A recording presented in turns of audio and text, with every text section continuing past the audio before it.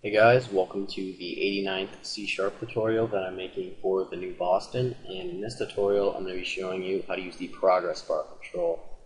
So all you're going to need for this tutorial is two buttons and a progress bar. So just go over to your toolbox and drag a progress bar over to your form. just let me resize this. Alright. First property that we're going to be looking at is the maximum property. And the maximum property will basically just tell you the maximum value that your progress bar can hold. And the value is basically just how much progress your progress bar shows. So since the maximum is 100, if we set the value equal to 50, then we would show half progress because half of 100 is 50. If we were to set the value equal to 100, then we would see the progress show full, and if we were to set the value equal to 0, it would start up at the beginning, or we wouldn't see any progress at all.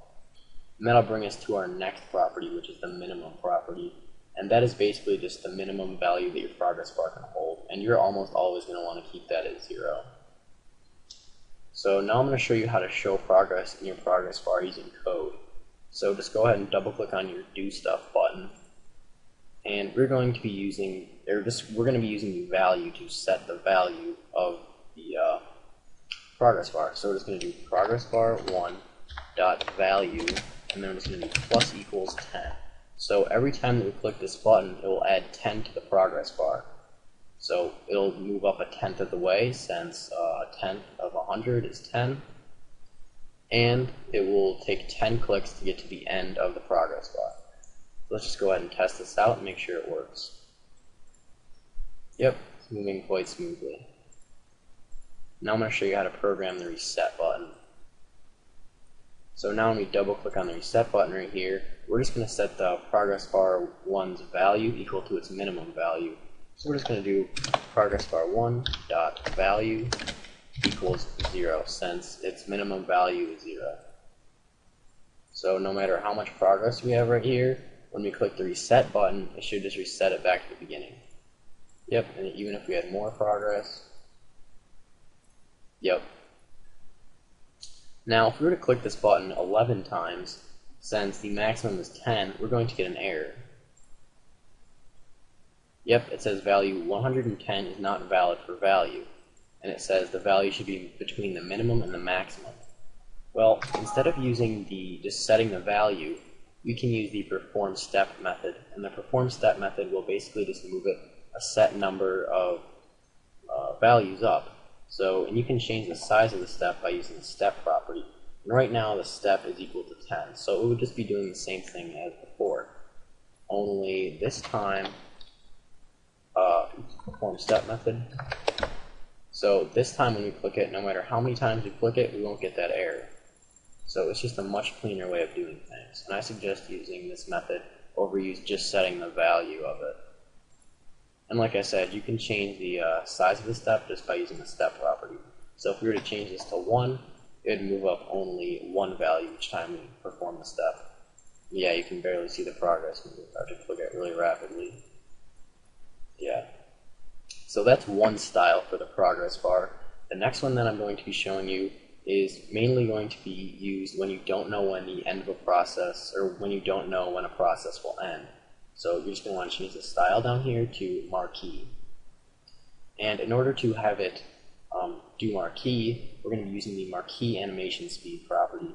And if we set, if we keep this at 100 right now, it will basically just uh, start moving as soon as we debug, and we don't want that. So we're going to have it only start moving across when we click this do stuff button.